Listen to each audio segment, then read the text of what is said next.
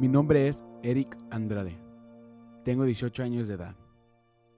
Mi vida antes era una vida destruida, con un padre alcohólico lleno de ira y una madre deprimida llena de rencor.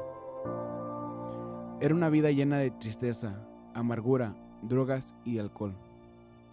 A la corta edad de 8 años fue abusado sexualmente.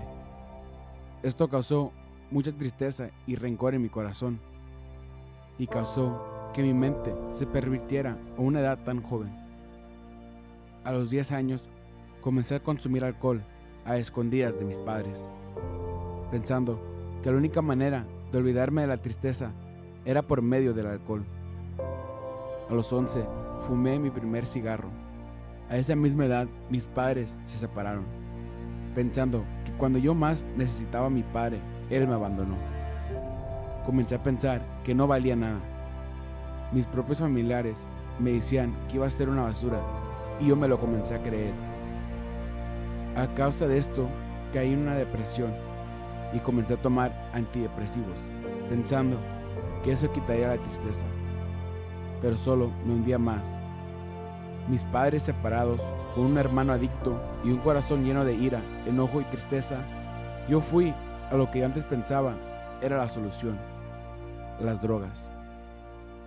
A los 12, fumé mi primer cigarro de marihuana y me comencé a ser adicto.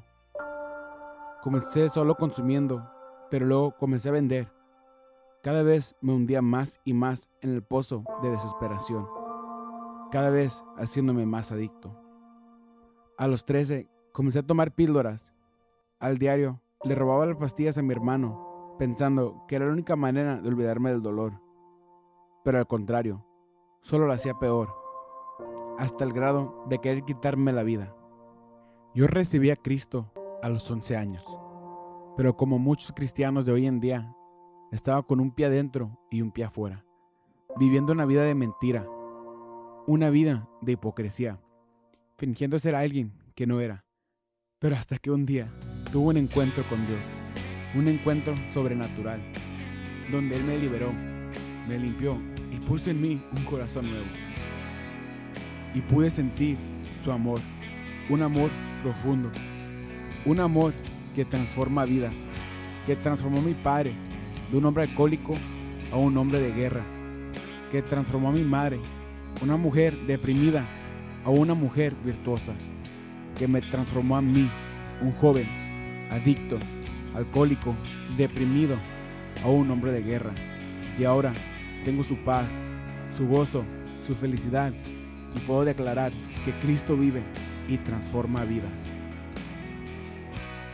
Banqueros Cristianos, transformando vidas USA.